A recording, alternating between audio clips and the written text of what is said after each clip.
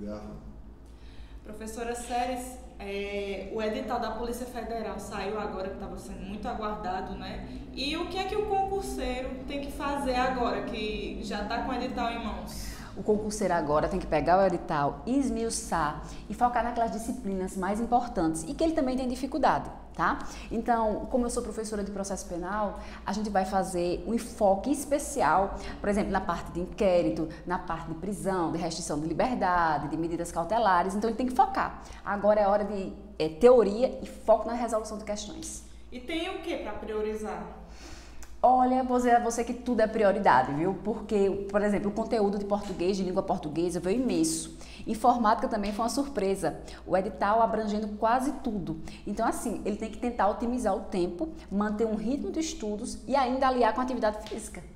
Pois é, e a atividade física já é hora de começar a se preparar? Já é hora de começar a se preparar. O candidato que realmente pretende lutar pelaquela vaga, viu? Porque é um, é um, um curso, um concurso fantástico, sabe? Eu acho que todo concurseiro, a maioria dos concurseiros tem vontade de ingressar no órgão como a Polícia Federal. Então, focar nos estudos e manter uma alimentação adequada, noites de sono regulares e atividade física. Ótimo. E vamos falar também